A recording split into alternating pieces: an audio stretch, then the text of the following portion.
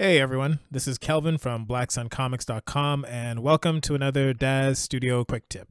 Today I'm going to talk about copying the active view. Now this is in regards to cameras and if you're not all in the Daz Studio ecosystem that phrase might not make sense to you but rest assured by the end of this video it sure will. I can't take credit for this tip. It actually comes from Simon Carriage.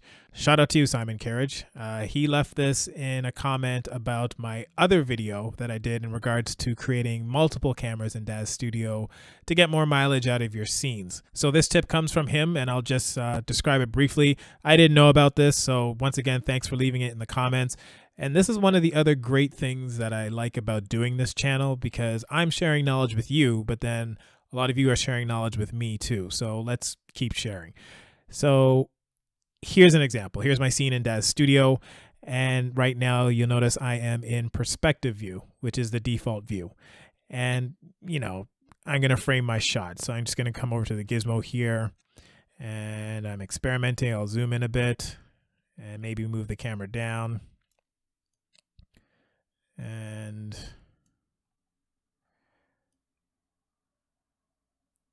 Let's see here. Maybe I'll pose her a bit.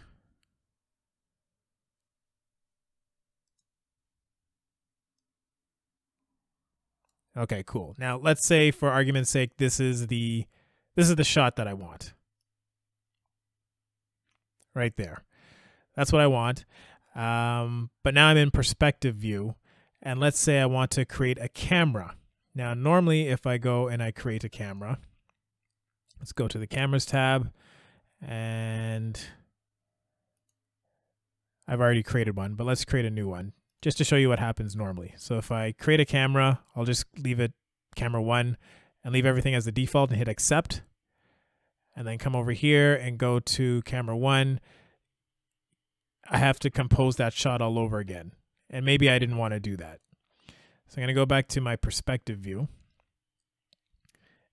And just to clean things up, I'm going to delete camera one. So I'm just going to the scene tab and I'm going to delete that camera.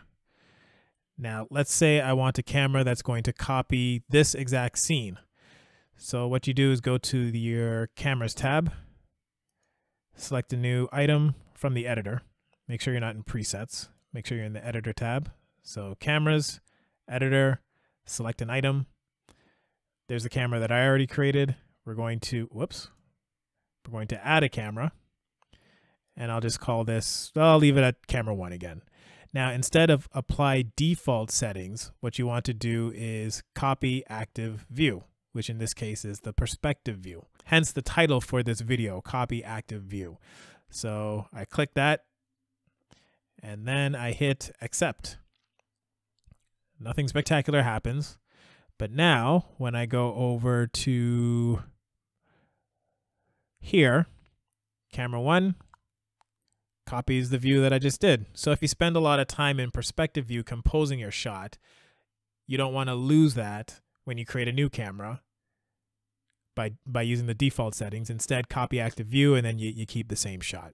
So there's a little quick tip. Once again, thanks Simon for leaving that comment. If you haven't already, please visit blacksuncomics.com where you can download a free preview of my graphic novel, Black Sun the Longest Night. It was illustrated completely using Daz Studio and Photoshop.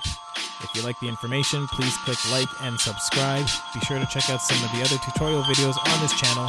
And until next time, take care.